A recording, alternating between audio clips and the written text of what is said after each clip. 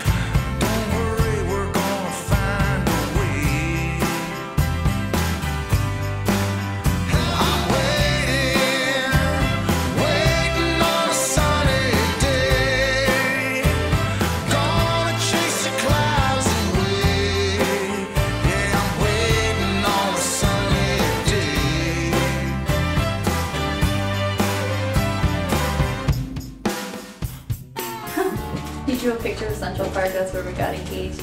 Dear Chelsea, today you become my wife. Uh, I knew you'd be my husband since we were teenagers. Thank you for giving me life, for giving me love, and for giving me purpose.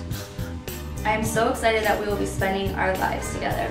I can't wait to see you walk down the aisle in your beautiful dress with your unbelievable blonde hair. I can't wait to start this new journey with you in our beautiful home.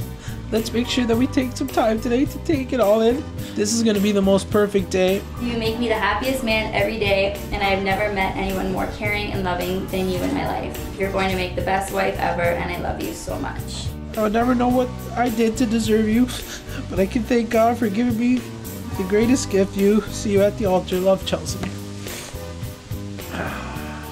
That's tough. She's good. She's good.